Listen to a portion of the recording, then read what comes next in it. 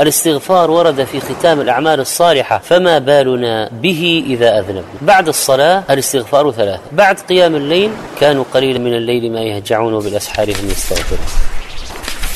ترى الآن الصداقة الحقيقية نادرة. فإذا عثرت على واحد أخ في الله يعينك على الطاعة يذكرك إذا نسيت ويعينك إذا ذكرت شد عليه. يمكن ما تجد غيره. الآن الأخوة قليلة.